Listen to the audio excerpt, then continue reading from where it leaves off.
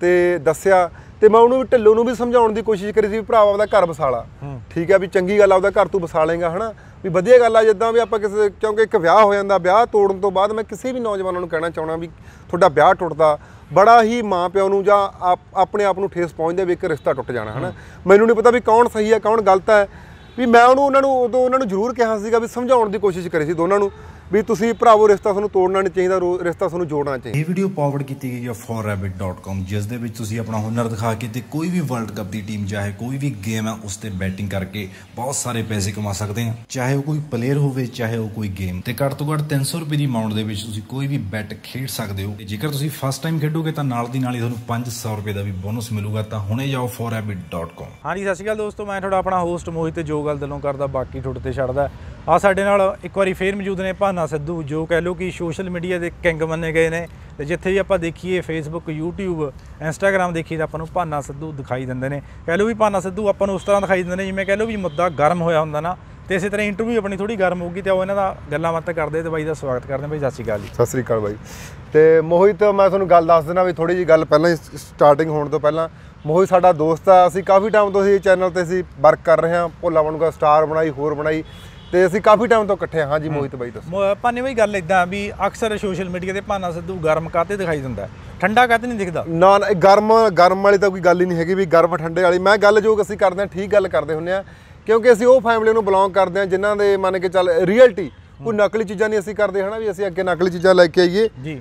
ਵੀ ਜੋ ਅਸਲੀ ਗੱਲਾਂ ਹੁੰਦੀਆਂ ਨੇ ਉਹ ਅਸੀਂ ਦੱਸਦੇ ਰਹਿਣੇ ਆ ਇਹ ਗੱਲ। ਪਰ ਹੁਣ ਦੇਖੀ ਪਿਛਲੇ ਮਹੀਨੇ ਕਲਾਕਾਰਾਂ ਤੇ ਕਹਿ ਲਓ ਵੀ ਮਹੀਨਾ ਬਹੁਤ ਮਾੜਾ ਨਿਕਲਿਆ। ਹਾਂਜੀ ਆ ਪਿੱਛੇ ਜੇ ਐਲੀ ਮੰਗ ਰੰਮੀ ਰੰਧਾਵੇ ਦਾ। ਰੰਮੀ ਰੰਧਾਵੇ ਨਾਲ ਤੁਸੀਂ ਪਹਿਲਾਂ ਵੀ ਵਾਰਤਾਲਾਪ ਤੁਹਾਡੀ ਹੋਈ ਸੀ।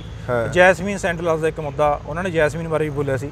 ਤੇ। ਹੁਣ ਆਪਾਂ ਰੰਮੀ ਰੰਧਾਵੇ ਦੇ ਟੌਪਿਕ ਤੇ ਆਉਂਦੇ ਆ ਉਹ ਗੱਲਬਾਤ ਕੀ ਸੀ? ਤੇ ਹੁਣ ਥੋੜਾ ਲੋਕਾਂ ਨੂੰ ਵੀ ਕਲਾਕਾਰਾਂ ਨੂੰ ਵੀ ਸੁਨੇਹਾ ਪਹੁੰਚ ਗਿਆ ਹੋਣਾ ਵੀ ਲੜਾਈਆਂ ਨਾ ਕਰੋ ਵੀ ਲੜਾਈਆਂ ਦਾ ਨਤੀਜਾ ਤੁਹਾਡੇ ਸਾਹਮਣੇ ਹੀ ਹੈ। ਬਾਈ ਜੀ ਮੈਂ ਤੁਹਾਨੂੰ ਗੱਲ ਦੱਸਦਾ। ਅਸਲ ਸੱਚ ਬੋਲਾਂ ਕਿ ਝੂਠ ਬੋਲਾਂ? ਸੱਚ ਆਪਾਂ ਸੱਚ ਦੇਖ ਦੇਖ। ਸੱਚ ਬੋਲਾਂ ਮੈਂ ਤੈਨੂੰ ਗੱਲ ਦੱਸ ਦਿੰਦਾ। ਜਿਹੜਾ ਉਹ ਚਾਹੇ ਉਹ ਮੇਰੀ ਸੁਣਨ ਗਈ ਮੇਰੀ ਉਹ ਗੱਲਬਾਤ ਮੈਂ ਪਹਿਲਾਂ ਵੀ ਇੱਕ ਵਾਰੀ ਬੋਲਿਆ ਰਮੀ ਰੰਧਾਵਾ ਜਿਹੜਾ ਦੂਸਰਾ ਉਹਦਾ ਭਰਾ ਕੀ ਨਾਮ? ਪ੍ਰਿੰਸ ਰੰਧਾਵਾ ਇਹ ਯਾਰ ਮੇਰੀ ਗੱਲ ਸੁਣ ਤੂੰ ਆਪਣਾ ਕੰਮ ਕਰਦਾ ਯਾਰ ਕਰਦਾ ਤੂੰ ਆਪਣਾ ਕੰਮ ਠੀਕ ਹੈ? ਜੇ ਮੈਂ ਤੇਰੇ ਨਾਲ ਲੜਾਂ ਮੈਂ ਤੇਰੇ ਨਾਲ ਲੜਾਂ ਵੀ ਮੈਂ ਮੋਹਿਤ ਦਾ ਚੈਨਲ ਚੱਲ ਰਿਹਾ ਮੈਂ ਮੋਹਿਤ ਦਾ ਮੈਂ ਮੋਹਿਤ ਤੋਂ ਅੱਗੇ ਲੰਘਾ ਹਨਾ? ਉਹ ਲੜਾਈ ਪਾਉਣਾ ਉਹ ਇੱਕ ਮੁੱਦਾ ਭੜਕਾਉਣਾ ਉਹ ਇੱਕ ਜਾਣ ਕੇ ਸੋਚੀ ਸੋਚੀ ਸਮਝੀ ਸਾਜ਼ਿਸ਼ ਹੁੰਦੀ ਹੈ ਠੀਕ ਹੈ? ਉਹਨਾਂ ਪਹਿਲਾਂ ਤਾਂ ਉਹਨੇ ਜਸਮੀਨ ਸੈਂਡਲ ਨਾਲ ਪੰਗਾ ਲਿਆ ਤੇ ਉਹਨੇ ਜਸਮੀਨ ਸੈਂਡਲ ਨਾਲ ਨਹੀਂ ਉਹਨੇ ਸਿੱਧੂ ਮੂਸੇਵਾਲੇ ਨਾਲ ਉਹਨੇ ਸਾਰਿਆਂ ਨਾਲ ਪੰਗਾ ਲਿਆ। ਉਹ ਨਹੀਂ ਬੋਲੇ ਉਹਨੇ ਆਖਿਆ ਵੀ ਹੁਣ ਐਲੀ ਮੰਗਟ ਬੋਲੂਗਾ ਕਿਉਂਕਿ ਐਲੀ ਮੰਗਟ ਤੁਹਾਨੂੰ ਮੈਂ ਜਿਹੜੀ ਅਸਲੀ ਗੱਲ ਦੱਸਣਾ ਐਲੀ ਮੰਗਟ ਕਿੱਦਾਂ ਦਾ ਬੰਦਾ ਹੈ? ਐਲੀ ਮੰਗਟ ਵੀ ਜਿੱਦਾਂ ਦਾ ਅਸੀਂ ਕਰੀਏ ਵੀ ਅਸੀਂ ਕੋਈ ਗੱਲ ਸੁਣ ਨਹੀਂ ਸਕਦੇ ਉਹ ਇਦਾਂ ਦਾ ਬੰਦਾ ਹੈ। ਫਿਰ ਉਹਨਾਂ ਨੇ ਐਲੀ ਮੰਗਟ ਦੇ ਨਾਲ ਪੰਗਾ ਲੈਤਾ। ਫਿਰ ਉਹ ਐਲੀ ਮੰਗਟ ਦਾ ਜਦੋਂ ਪੰਗਾ ਲੈਤਾ ਜਦੋਂ ਉਹਨਾਂ ਨੂੰ ਲਲਕਾਰਿਆ ਫਿਰ ਐਲੀ ਮੰਗਟ ਤੁਹਾਨੂੰ ਪਤਾ ਵੀ ਆ ਗਿਆ ਵੀ ਆ ਜਾ ਭਾਈ ਮਤਲਬ ਕੀ ਸੀ ਉਹਨਾਂ ਦਾ ਲਲਕਾਰ ਮੇਨ ਮਕਸਦ ਮੇਨ ਮਕਸਦ ਉਹਨਾਂ ਦਾ ਇੱਕੋ ਹੀ ਗੱਲ ਆ ਵੀ ਅਸੀਂ ਵੀ ਸਾਨੂੰ ਉਹਨਾਂ ਨੂੰ ਤੁਹਾਨੂੰ ਪੁੱਛ ਲਓ ਵੀ ਉਹਨਾਂ ਨੂੰ ਕਿੱਥੇ ਉਹਨਾਂ ਨੂੰ ਕੋਈ ਕੋਈ ਇੰਸਟਾਗ੍ਰam ਖੋਲ ਲਓ ਕੋਈ ਫੇਸਬੁੱਕ ਖੋਲ ਲਓ ਇੰਨਾ ਉਹਨਾਂ ਨੂੰ ਕਿੱਥੇ ਉਹਨਾਂ ਨੂੰ ਯੂਥ ਉਹਨਾਂ ਦੇ ਚਰਚਾ 'ਚ ਹੈ ਨਹੀਂਗਾ ਕੰਮ ਮਤਲਬ ਮੁੱਕਦੀ ਗੱਲ ਆ ਕਹਿ ਲਓ ਪਬਲਿਸਿਟੀ ਵਾਸਤੇ ਪਬਲਿਕ ਸਿਟੀ ਸਟੰਟ ਸਭ ਤੋਂ ਵੱਡਾ ਨਾ ਪਬਲਿਕ ਸਿਟੀ ਸਟੰਟ ਸੀਗਾ ਵੀ ਅਸੀਂ ਫੇਮਸ ਹੋਣ ਦਾ। ਠੀਕ ਆ ਜਾਣ ਕੇ ਉਹ ਵੀ ਪੰਜਾਬੀ ਕਲਚਰ ਦੀਆਂ ਗੱਲਾਂ ਕਰਨੀਆਂ ਵੀ ਪੰਜਾਬੀ ਕਲਚਰ ਨੂੰ ਅਸੀਂ ਬਚਾਈ ਬੈਠੇ ਆ ਕੀ ਕਰਿਆ ਪੰਜਾਬੀ ਕਲਚਰ ਪੰ- ਪੰਜਾਬੀ ਕਲਚਰ ਕਿੱਦਾਂ ਦਾ ਹੋਣਾ ਚਾਹੀਦਾ? ਮੈਂ ਮੈਂ ਤੁਹਾਨੂੰ ਗੱਲ ਦੱਸਦਾ ਜਿੱਦਾਂ ਕਿ ਉਹਨੇ ਪੰਜਾਬੀ ਕਲਚਰ ਦੀਆਂ ਗੱਲਾਂ ਕਰੀਆਂ ਪੰਜਾਬੀ ਕਲਚਰ ਲਈ ਕੀ ਕਰਿਆ ਮੈਨੂੰ ਇਹ ਗੱਲ ਦੱਸੇ। ਹੁਣ ਐ ਜੇ ਆਪਾਂ ਕਹੀਏ ਪੰਜਾਬੀ ਕਲਚਰ ਕੱਲਾ ਗਾਣੇ ਗਾ ਕੇ ਜਾਂ ਕੱਲਾ ਠੀਕ ਹੈ ਇੱਕ ਬੋਲ ਕੇ ਇੱਕ ਚੀਜ਼ ਤੇ ਫੇਸਬੁੱਕ ਤੇ ਬੋਲ ਕੇ ਪੰਜਾਬੀ ਕਲਚਰ ਥੋੜੂ ਬਚ ਸਕਦਾ। ਗਰਾਊਂਡ ਲੈਵਲ ਤੇ ਆ ਕੇ ਪੰਜਾਬੀ ਕਲਚਰ ਬਚ ਬਚ ਸਕਦਾ।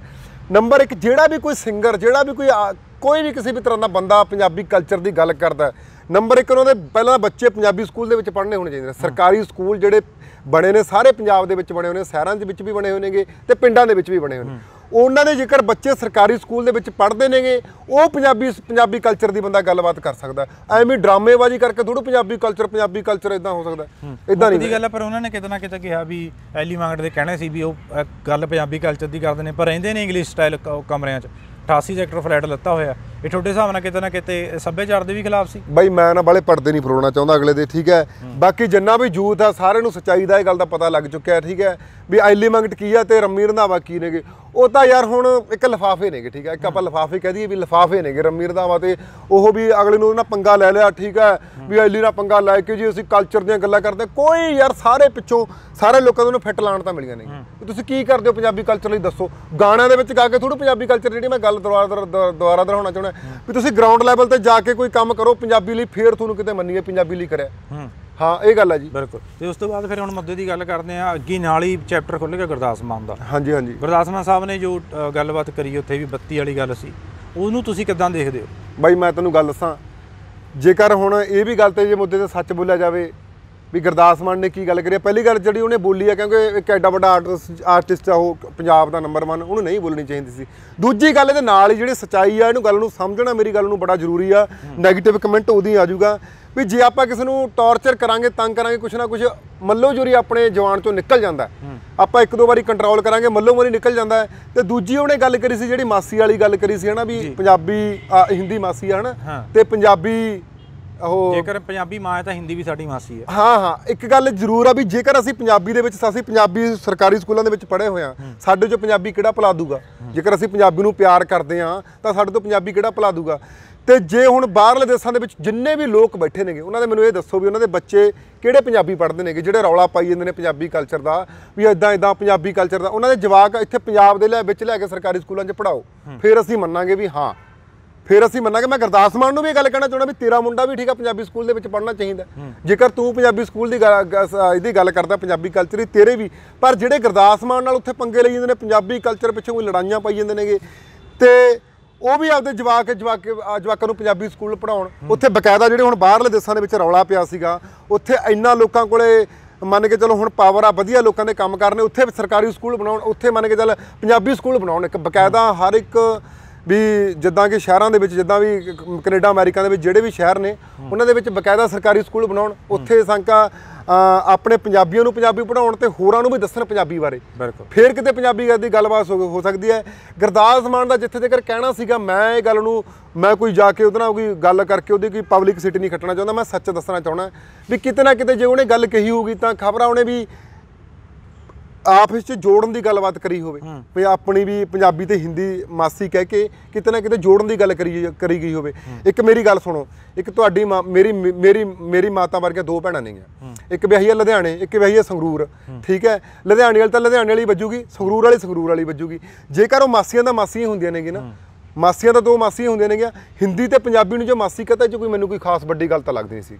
ਯਾਰ ਐਡਾ ਇੰਨਾ ਟਾਈਮ ਬੰਦੇ ਨੇ ਕੰਮ ਕਰਿਆ ਜੇ ਸੱਚ ਬੋਲਣਾ ਜੇ ਮੈਂ ਝੂਠ ਬੋਲਣਾ ਜੇਕਰ ਲੋਕ ਜਿਵੇਂ ਝੂਠ ਬੋਲੀ ਜਾਂਦੇ ਨੇ ਜਿਹੜੀ ਚੀਜ਼ ਨੂੰ ਲੋਕ ਪਸੰਦ ਕਰੀ ਜਾਂਦੇ ਨੇਗੇ ਜੋ ਮੈਂ ਕਹਿੰਦਾ ਵੀ ਗੁਰਦਾਸ ਮਾਨ ਨੂੰ ਮੈਂ ਗਲਤ ਕਹਿੰਦਾ ਮੈਂ ਇੱਕਦਮ ਗਲਤ ਨਹੀਂ ਕਹਿ ਸਕਦਾ। ਪਰ ਉਸ ਤੋਂ ਬਾਅਦ ਫਿਰ ਕਹਿ ਲਓ ਗੁਰਦਾਸ ਮਾਨ ਦਾ ਮਸਲਾ ਨਿਬੜਿਆ ਤੇ ਫਿਰ ਨਾਲ ਹੀ ਕਹਿੰਦੇ ਕੇਐਸ ਮੱਖਣ ਦਾ ਮਸਲਾ ਆ ਗਿਆ। ਕਿਉਂਕਿ ਕੇਐਸ ਮੱਖਣ ਨੇ ਜਿੱਦਾਂ ਕਿ ਤੁਹਾਨੂੰ ਪਤਾ ਵੀ ਸੋਸ਼ਲ ਮੀਡੀਆ ਦਾ ਕਾਫੀ ਵਿਵਾਦ ਰਿਹਾ। ਉਹਨਾਂ ਨੇ ਆਪਣੇ ਉਹਨਾਂ ਨੇ ਆਪਣੇ ਇੱਕ ਕਾਰ ਲਾਤੇ ਸੀ। ਉਹਦੇ ਬਾਰੇ ਤੁਹਾਡਾ ਕੀ ਵਿਚਾਰ ਹੈ ਬਾਈ ਕੇਐਸ ਮੱਖਣ ਜਿਹੜੀ ਜਿਹੜੀ ਉਹ ਗੱਲ ਆ ਜਿਹੜੀ ਤੁਹਾਡੀ ਆਈ ਆ। ਨੰਬਰ ਇੱਕ ਜਿਹੜੀ ਤੈਨੂੰ ਸਿੱਖ ਧਰਮ ਦੀ ਮੈਂ ਗੱਲ ਦੱਸ ਦਿੰਦਾ ਤੁਸੀਂ ਵੀ ਚਲੋ ਸਿੱਖ ਧਰਮ ਜੋ ਬਿਲੋਂਗ ਕਰਦੇ ਹੋ। ਮੈਂ ਵੀ ਸਾਡਾ ਵੀ ਸਿੱਖ ਧਰਮ ਆ ਅਸੀਂ। ਸਿੱਖ ਧਰਮ ਤੋਂ ਉੱਚਾ ਸੁੱਚਾ ਕੋਈ ਧਰਮ ਹੋ ਨਹੀਂ ਸਕਦਾ। ਤੇ ਜਿਹੜੇ ਕਰਾ- ਕਕਰਾਰ ਲਾਉਣ ਦੀ ਜਿੱਦਾਂ ਕਿ ਅਸੀਂ ਪੜਿਆ ਜਿੰਨਾ ਕਿ ਜਿੰਨਾ ਕਿ ਮੈਂ ਪੜਿਆ ਸਿੱਖੀ ਲਈ ਤੱਤੀਆਂ ਤਵੀਆਂ ਤੇ ਬਹਿ ਗਏ ਤੇ ਆਪਣੇ ਆਰੇ ਚੱਲ ਗਏ। ਆਪਣੇ ਸੀਸ ਲਹਾਏ ਗਏ ਠੀਕ ਹੈ?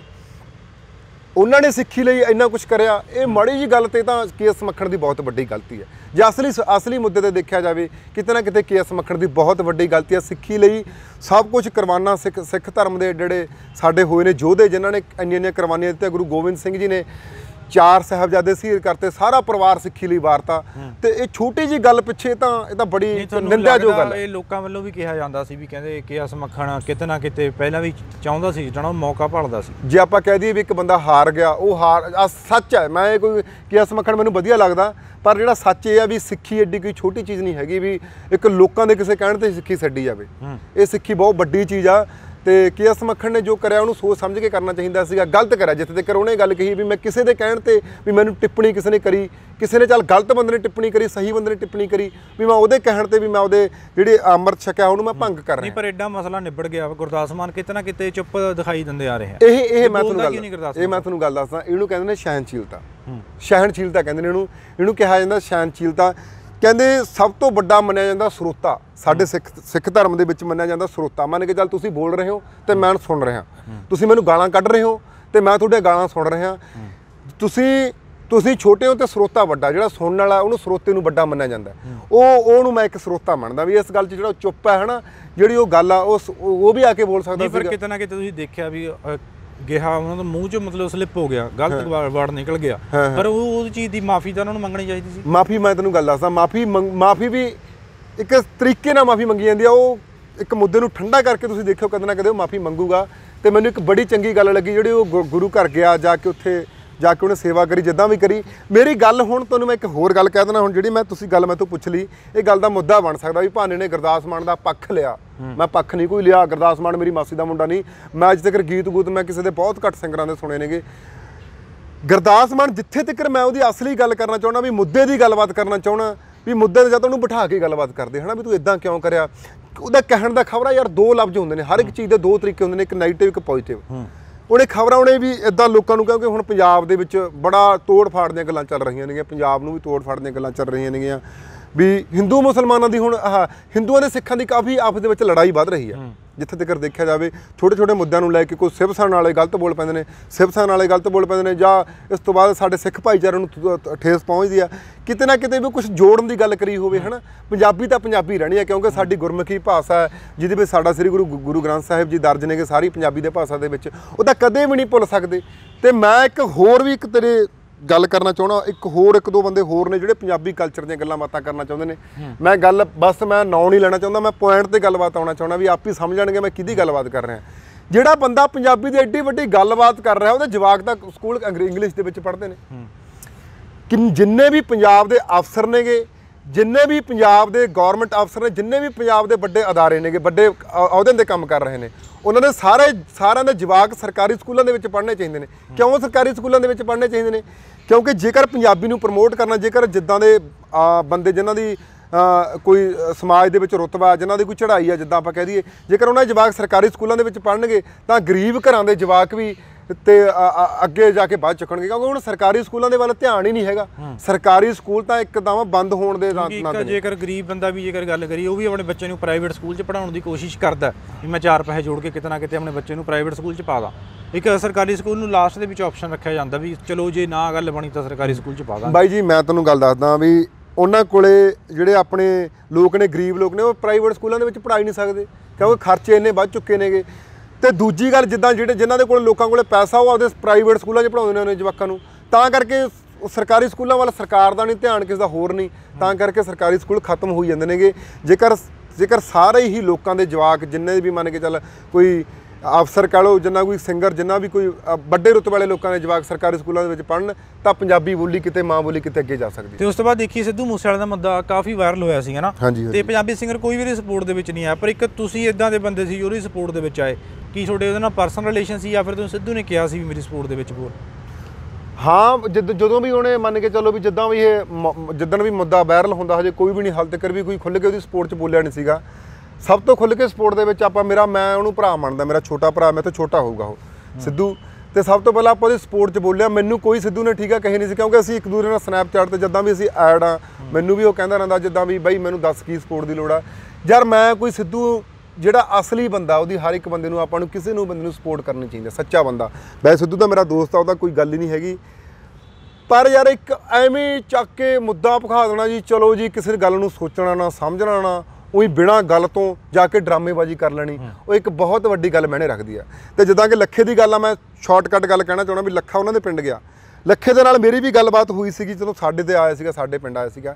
ਮੈਂ ਵੀ ਉਹਨੂੰ ਕਿਹਾ ਸੀ ਵੀ ਜੇ ਕੋਈ ਗਲਤੀ ਸਾਥੋਂ ਹੋਗੀ ਅਸੀਂ ਬਹਿ ਕੇ ਗੱਲਬਾਤ ਕਰ ਲੈਣਾ ਅਸੀਂ ਮਾਫੀ ਮੰਗ ਲੈਣਾ ਫਿਰ ਉਹਨੇ ਸਾਡੇ ਪਿੰਡ ਜਾ ਕੇ ਜਿੱਦਾਂ ਸਟੰਟ ਮਾਰਿਆ ਸਾਡੇ ਪਿੰਡ ਜਾ ਕੇ ਉਹਨੇ ਸੱਥ ਦੇ ਵਿੱਚ ਖੜ ਕੇ ਰੌਲਾ ਰੱਪਾ ਪਾਇਆ। ਚਲੋ ਜਿੱਦਾਂ ਵੀ ਹੋਇਆ ਮੱਦਾ ਮੁੱਦਾ ਠੰਡਾ ਹੋ ਗਿਆ। ਇਸ ਤੋਂ ਬਾਅਦ ਕੋਈ ਵੀ ਮੁੱਦਾ ਹੋਵੇ ਉਹ ਇਦਾਂ ਹੀ ਚਲਾ ਜਾਂਦਾ ਉਹ ਜੋ ਕਿ ਚਲੋ ਉਹਦਾ ਕੋਈ ਮੈਂ ਜਿਹੜੇ ਚੰਗੇ ਕੰਮ ਕਰਦਾ ਮੈਂ ਉਹਦੀ ਤਾਰੀਫ ਵੀ ਕਰਦਾ ਵੀ ਲੱਖਾ ਚੰਗੇ ਕੰਮ ਕਰਦਾ। ਪਰ ਜਿਹੜੇ ਉਹੀ ਸਟੰਟ ਮਾਰਨੇ ਉਹੀ ਵੀ ਆਪਾਂ ਵੀ ਐਦਾਂ ਆਪਣੀ ਚੜ੍ਹਾਈ ਹੋ ਜੂਗੀ ਉਹਦੇ ਚ ਕਿਤੇ ਨਾ ਕਿਤੇ ਉਹ ਬਹੁਤ ਘਟੀਆ ਗੱਲ ਹੈ। ਨਹੀਂ ਪਰ ਤੁਹਾਨੂੰ ਲੱਗ ਰਿਹਾ ਲੱਖਾ ਸਾਡਾ ਸਟੰਟ ਮਾਰਦਾ ਸੀ? ਉਹ ਯਾਰ ਹੋਰ ਕੀ ਆ ਹੁਣ ਠੀਕ ਹੈ ਜਦੋਂ ਜਦੋਂ ਇੱਕ ਜਦੋਂ ਇੱਕ ਬੰਦੇ ਨੇ ਕੀ ਕਰਿਆ ਇੱਕ ਬੰਦੇ ਨੇ ਸ਼ਾਮ ਨੂੰ ਉਹਦਾ ਗਾਣਾ ਕੰਪਨੀ ਨੇ ਵਾਇਰਲ ਕਰਿਆ ਜਾਂ ਲੀਕ ਕਰਿਆ ਜਾਂ ਉਹਨੇ ਪਾਤਾ ਕੰਪਨੀ ਨੇ ਜਿੱਦਾਂ ਵੀ ਕੁਝ ਕਰਿਆ ਉਹਨੇ ਲੋਕਾਂ ਨੂੰ ਬੁਰਾ ਲੱਗਿਆ ਤਾਂ ਉਹਨੇ ਸਵੇਰ ਨੂੰ 9 8 9 8 9 ਵਜੇ ਲਾਈਵ ਹੋ ਗਿਆ ਸੀਗਾ। ਲਾਈਵ ਹੋ ਕੇ ਉਹ ਕਹਿੰਦਾ ਵੀ ਜੇ ਮੈਥੋਂ ਗਲਤੀ ਹੋਈ ਤਾਂ ਮੈਂ ਮਾਫੀ ਮੰਗਦਾ। ਜਿੱਥੇ ਵੀ ਤੁਸੀਂ ਮੈਨੂੰ ਕਹਿੰਦਾ ਬੁਲਾਉਣ ਨੂੰ ਬੁਲਾਉਣ ਲਈ ਵੀ ਮੈਨੂੰ ਬੁਲਾਓਗੇ ਮੈਂ ਆਉਣ ਲਈ ਤਿਆਰ ਹਾਂ।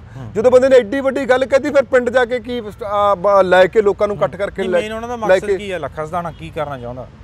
ਮੇਨ ਮਕਸਦ ਤਾਂ ਬ੍ਰਦਰ ਇਹੀ ਆ ਵੀ ਹਨਾ ਵੀ ਜਿੱਦਾਂ ਵੀ ਕੋਈ ਮੰਨ ਕੇ ਚੱਲ ਤੇਰਾ ਨਾਮ ਹੈ ਕਿਸੇ ਦਾ ਵੀ ਨਾਮ ਹੈ ਮੈਂ ਉਹਦੇ ਨਾਲ ਲੜਨਾ ਲੜ ਕੇ ਪਬਲਿਕ ਸਿਟੀ ਸਟੰਟ ਹੁੰਦਾ। ਇੱਕ ਕਿਦਾਂ ਵੀ ਜਿੱਦਾਂ ਆਪਾਂ ਕਹਿ ਦਈਏ ਇੱਕ ਨਾ ਵੀ ਸਰਕਾਰਾਂ ਦੇ ਕੰਮ ਹੁੰਦੇ ਨੇ ਇਹ ਜਿੱਦਾਂ ਵੀ ਇੱਕ ਮੰਤਰੀਆਂ ਦੇ ਕੰਮ ਹੁੰਦੇ ਨੇਗੇ ਇਹ ਵੀ ਪੋਲੀਟੀਕਲ ਪੋਲੀਟੀਕਲ ਸਟੰਟ ਹੁੰਦਾ ਹੈ ਵੀ ਪੋਲੀਟੀਕਲ ਸਟੰਟ ਇਹ ਹੁੰਦਾ ਵੀ ਮੁੱਦਾ ਚਰਚਾ 'ਚ ਰਹਿਣਾ। ਵੀ ਉਹ ਜਿਵੇਂ ਐਮਐਲਏ ਨਹੀਂ ਕਹਿੰਦੇ ਹੁੰਦੇ ਸਰੇਆਮ ਪਤਾ ਹੁੰਦਾ ਇੱਕ ਦੂਸਰੇ ਨੂੰ ਬਾਦਲ ਨੂੰ ਗਲਤ ਬੋਲੀ ਜਾਂਦੇ ਨੇ ਕੈਪਟਨ ਕੋ ਦੂਸਰੇ ਨੂੰ ਗਲਤ ਬੋਲੀ ਜਾਂਦਾ ਕੈਪਟਨ ਕੇ ਬਾਦਲ ਨੂੰ ਗਲਤ ਬੋਲਦੇ ਨੇ ਉਦਾਂ ਦੇ ਮੁੱਦੇ ਹੁੰਦੇ ਨੇ।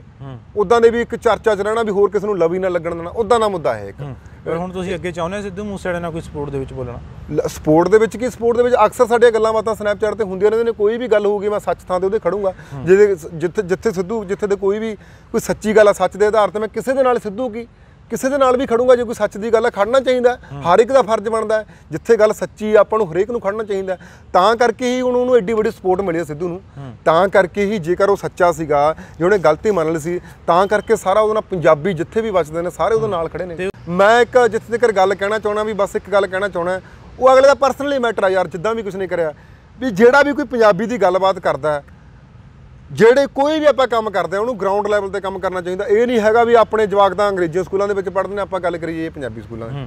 ਠੀਕ ਹੈ? ਵੀ ਆਪਾਂ ਗੱਲ ਕਰੀਏ ਇਹ ਪੰਜਾਬੀ ਦੀ। ਜੇਕਰ ਆਪਾਂ ਪੰਜਾਬ ਨੂੰ ਬਚਾਉਣਾ ਤਾਂ ਪੰਜਾਬੀ ਸਕੂਲ ਸਰਕਾਰੀ ਸਕੂਲਾਂ ਨੂੰ ਪ੍ਰਮੋਟ ਕਰਨਾ ਅੱਗੇ ਲੈ ਕੇ ਆਉਣਾ ਬਹੁਤ ਜ਼ਰੂਰੀ ਹੈ। ਬਿਲਕੁਲ। ਤੇ ਹੁਣ ਆਪਾਂ ਤੁਹਾਨੂੰ ਲੈ ਕੇ ਜਾਂਦੇ ਹਾਂ ਢਿੱਲੋਂਪ੍ਰੀਤ ਦੇ ਮਸਲੇ ਵੱਲ।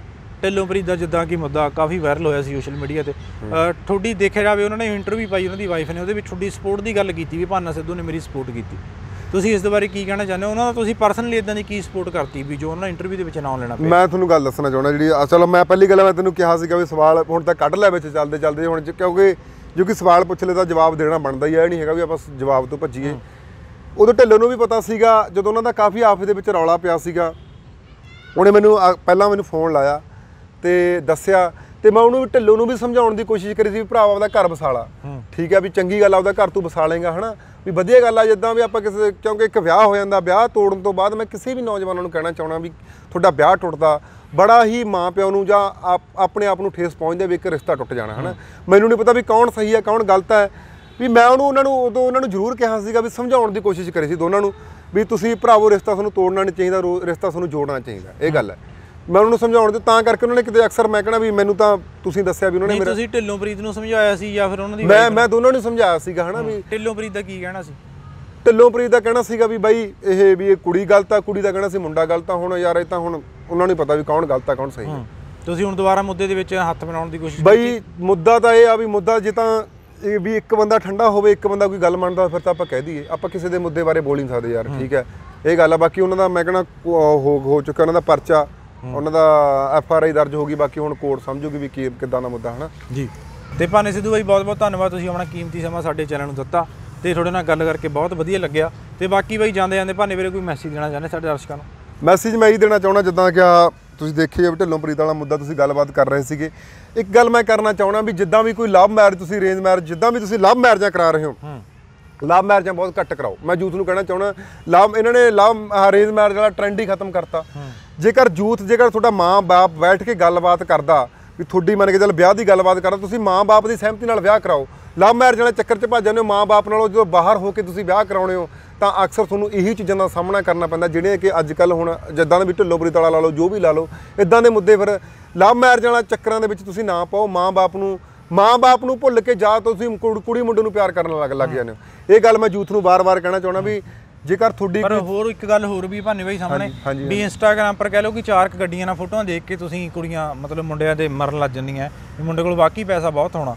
ਪਰ ਅਸਲ ਦੇ ਵਿੱਚ ਕਹਿ ਲਓ ਉਹ ਗੱਡੀਆਂ ਕਿਸੇ ਯਾਰਾਂ ਦੋਸਤਾਂ ਦੀ ਮੰਗਵੀਆਂ ਜਾਂ ਫਿਰ ਕਿਸੇ ਹੋਰ ਦੋਸਤ ਨਾਲ ਫੋਟੋ ਕਰਾਉਣ ਵਾਸਤੇ ਖਿਚਾਈਆਂ ਜਾਂਦੀਆਂ ਪਰ ਉਹਦੇ ਬਾਰੇ ਜੇਕਰ ਕਰਨਾ ਵੀ ਇੰਸਟਾਗ੍ਰam ਤੇ ਆਸ਼ਕੀ ਤਾਂ ਪਹਿਲਾਂ ਇੱਕ ਦੋ ਬੰਦੇ ਤੋਂ ਵੈਰੀਫਿਕੇਸ਼ਨ ਕਰਾਓ ਵੀ ਬੰਦਾ ਜਾਂ ਫਿਰ ਸਹੀ ਹੈ ਜਾਂ ਫਿਰ ਗਲਤ। ਬਿਲਕੁਲ ਆਪ- ਕਿਸੇ ਤੋਂ ਕਿਉਂ ਕਰੋ? ਆਪਦੇ ਮਾਂ-ਬਾਪ ਨੂੰ ਗੱਲ ਦੱਸੋ। ਜੇਕਰ ਤੁਹਾਨੂੰ ਕੋਈ ਮੁੰਡਾ ਪਸੰਦ ਆ ਗਿਆ ਜਾਂ ਕੁੜੀ ਨੂੰ ਮੁੰਡਾ ਪਸੰਦ ਆ ਗਿਆ ਜਾਂ ਮੁੰਡੇ ਨੂੰ ਕੁੜੀ ਪਸੰਦ ਆ ਗਈ ਆਪਦੇ ਮਾਂ-ਬਾਪ ਨੂੰ ਦੱਸੋ। ਮਾਂ-ਬਾਪ ਅਕਸਰ ਹੀ ਧੀ ਪੁੱਤ ਦਾ ਕਦੇ ਮਾੜਾ ਨਹੀਂ ਸੋਚ ਸਕਦਾ।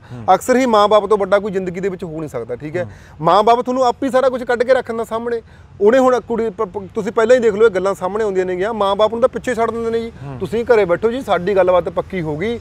ਅਸੀਂ ਮੁੰਡਾ ਸਹੀ ਹੈ। ਕੁੜੀ ਕਹੂ ਮੁੰਡਾ ਸਹੀ ਆ ਜਾਂ ਮੁੰਡਾ ਕਹੂ ਕੁੜੀ ਸਹੀ ਆ। ਮਾਂ-ਬਾਪ ਨੂੰ ਤਾਂ ਪਿੱਛੇ ਛੱਡ ਦਿੰਦੇ ਨੇ। ਜਦੋਂ ਫਿਰ ਮਾਂ-ਬਾਪ ਦੀ ਗੱਲ ਨਹੀਂ ਮੰਨਦੇ ਫਿਰ ਇਹੋ ਜਿਹੇ ਖਮਾਜੇ ਭੁਗਤਣੇ ਪੈਂਦੇ ਨੇ। ਬਿਲਕੁਲ। ਇਹ ਗੱਲ ਹੈ ਭਾਨੇ ਬਾਈ ਬਹੁਤ ਬਹੁਤ ਧੰਨਵਾਦ ਬਹੁਤ ਵਧੀਆ ਲੱਗਿਆ ਤੁਹਾਡੇ ਨਾਲ ਗੱਲਬਾਤ ਥੈਂਕ ਕਰਕੇ। ਯੂ ਆਪਣਾ ਸਾਡਾ ਆਪਦਾ ਚੈਨਲ ਆ ਦੇਸੀ ਤੜਕਾ। ਇੱਕ ਮੈਂ ਹੋਰ ਗੱਲ ਕਹਿਣਾ ਚਾਹੁੰਦਾ ਕਈ ਬੰਦੇ 네ਗੇਟਿਵ ਕਮੈਂਟ ਜਾ ਕਰ ਦਿੰਦੇ ਨੇ ਦੇਸੀ ਤੜਕੇ ਚੈਨਲ ਬਾਰੇ। ਮੈਂ ਮੋਹਿਤ ਬਾਰੇ ਥੋੜੀ ਜਿਹੀ ਗੱਲਬਾਤ ਦੱਸਣਾ ਚਾਹੁੰਦਾ ਬਹੁਤ ਬੰਦੇ ਨੇ ਮਿਹਨਤ ਕਰੀ ਆ।